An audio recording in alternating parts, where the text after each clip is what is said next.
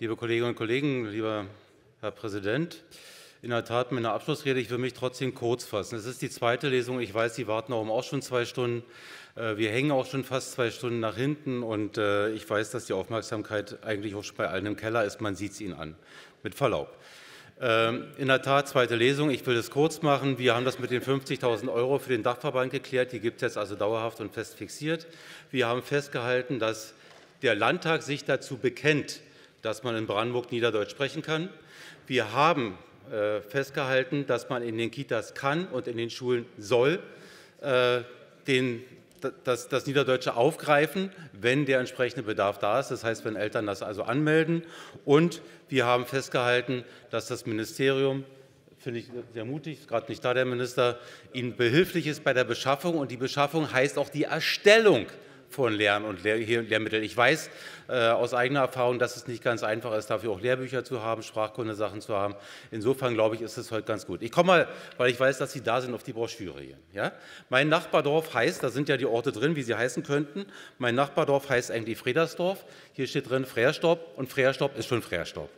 Und äh, ich will sagen, weil wir immer wieder das Thema Konnexität hatten, wie können wir den Kommunen helfen?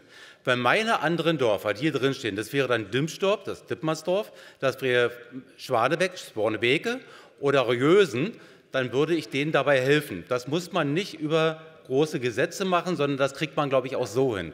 Und in Freerstorp hat es sehr geholfen, dass die Leute gesammelt haben und gesagt haben, damit bezahlen wir unsere neuen Ortseingangsbilder. Das ist eine tolle Sache gewesen. Und äh, abschließend würde ich nur noch sagen, in meinem Dorf, Lütte, das wird hier nicht erwähnt, heißt es beim Bäcker Lütte. Vielleicht nehmen wir das noch mit auf. So, liebe Kolleginnen und Kollegen, jetzt wende ich mich an Sie. Äh, ich will auch das kurz machen, will das gar nicht so weit ausführen. Äh, Roswitha äh, hat das heute schon ganz gut gemacht, oder gestern war das.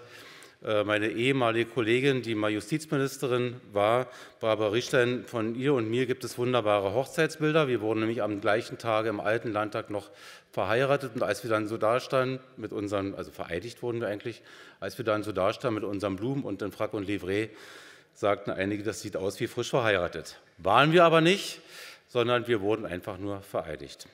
Es waren fünf spannende Legislaturperioden. Die eine habe ich nur als Minister mitgemacht, die anderen als Abgeordneter. Und ich muss sagen, äh, ich hatte immer wirklich große Freude. Der Mensch neigt, glaube ich, eh dazu, dass er die positiven Erinnerungen überhöht, die negativen doch eher verdrängt, jedenfalls bei den Erinnerungen, die im Herzen bleiben, nicht die, die auf Zetteln stehen. Vielleicht hält deswegen auch manche Ehe so lange, weiß ich nicht so genau.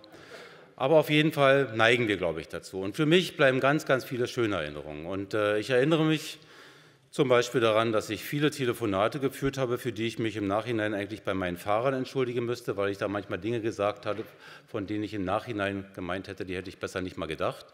Und sie mussten das trotzdem mit anhören.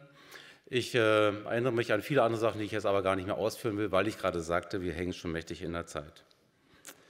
Ich äh, bedanke mich bei euch, bei Ihnen, bei den vielen Kollegen in den unterschiedlichsten Ministerien, mit denen ich zusammenarbeiten durfte, bei den Kolleginnen und Kollegen, die hier im Haus arbeiten, egal in welcher Ebene. Ich bedanke mich aber insbesondere bei meinen Wählerinnen und Wählern, die mich immer wieder mit hoher Zahl gewählt haben, aber auch bei denen, die mich nicht gewählt haben.